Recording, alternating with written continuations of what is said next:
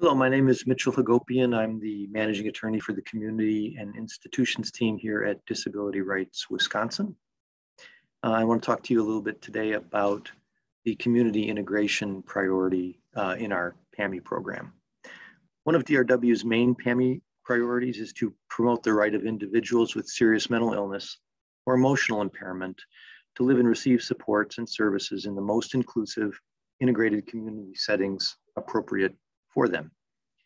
We address this goal through individual casework and by participating on the statutorily required relocation teams that the Department of Health Services convenes whenever a large facility notifies DHS that it is either closing altogether or downsizing significantly.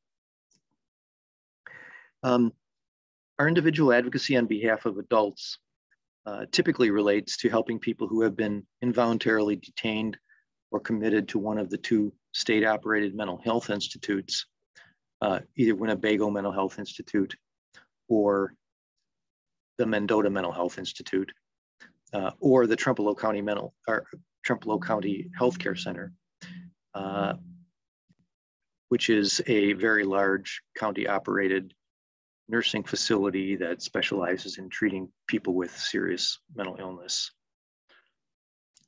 Uh, the Trempealeau facility, although a county owned and operated facility, has relationships with multiple other counties and as a result is the uh, placement for many people from around the state.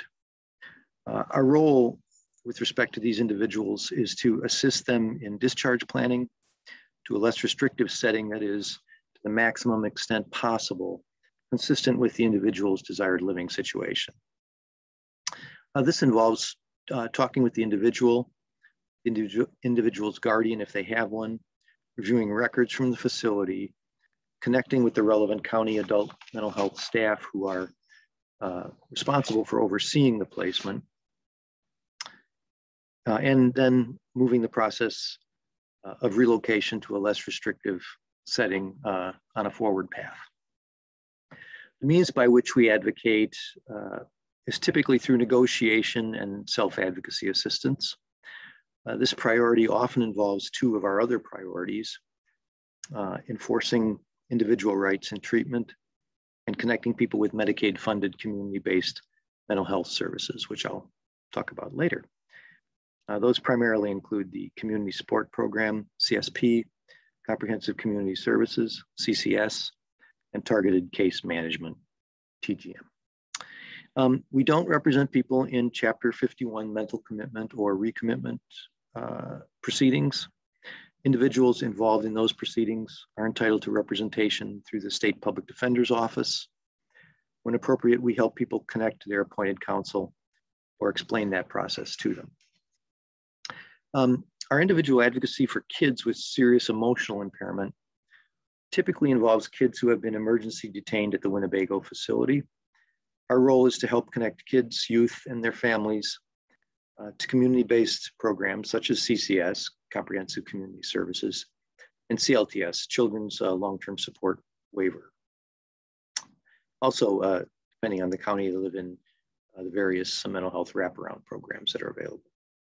We encourage a wraparound approach in which different systems work together to support the child and family. We do not represent kids in CHIPS, JIPS, or juvenile detention court proceedings or processes. Um, as I mentioned, we also serve on the relocation teams that DHS convenes whenever a community-based residential facility or nursing home closes its doors or downsizes. As part of that process, we offer our individual, individual advocacy assistance to any person who desires our help. If a person accepts our offer, uh, we work with them and their county to find an appropriate alternative placement. Hopefully one that is less restrictive and the one than the one that is closing or downsizing. In addition to any individual advocacy we may be engaging in, we also attend the regular, usually weekly meetings of the entire relocation team. During these meetings, the status of each resident's projected move is noted and any impediments to relocation are identified and addressed. Staffing patterns and ratios are discussed to ensure that the facility that is closing is adequately staffed to maintain the quality of care necessary to satisfy licensure requirements and uh, assure the health and safety of all the remaining residents. These meetings continue until every resident of the facility has been relocated from the facility. Um, in the past, we've uh, served on the relocation teams that oversaw the downsizing of the Milwaukee Mental Health Complex and numerous private nursing homes that were the primary residence for numerous people with serious mental illness. Most of the large facilities that served people with serious mental illness have closed. Uh, so far, no new closures have been announced in 2021. And that's a summary of uh, our PAIMI priority as it relates to community integration. Thanks.